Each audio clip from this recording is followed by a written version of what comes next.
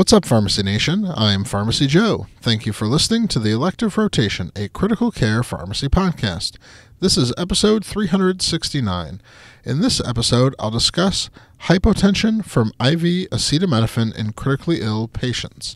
I have all the evidence supporting today's show linked up in the show notes at pharmacyjoe.com slash episode 369. The formulary status of IV acetaminophen can be controversial, given that it is an expensive medication without consistent evidence of benefit on clinically meaningful patient outcomes, such as reducing the length of hospital stay or ileus.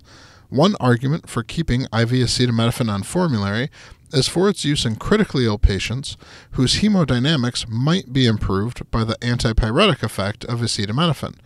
Elevated temperature increases oxygen demand, which can be exacerbated by conditions such as sepsis, respiratory failure, and cardiac disease.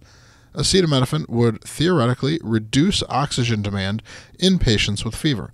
However, a six patient observational study published in 2013 suggested that IV acetaminophen worsens cardiac output and systemic vascular resistance.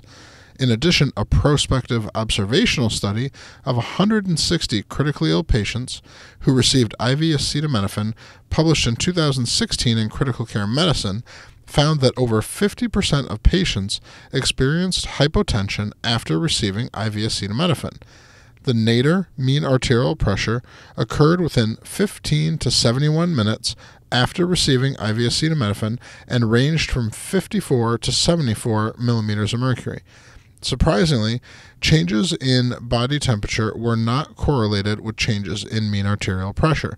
Among the patients that experienced hypotension, over one third required a therapeutic intervention to address the hypotension. To get a copy of the seven questions I use for guided topic discussions on vasopressors, sign up for my free download area at pharmacyjoe.com slash free. It's download number 17 on the list. Thank you so much for listening. I'll see you in the next episode of the Elective Rotation.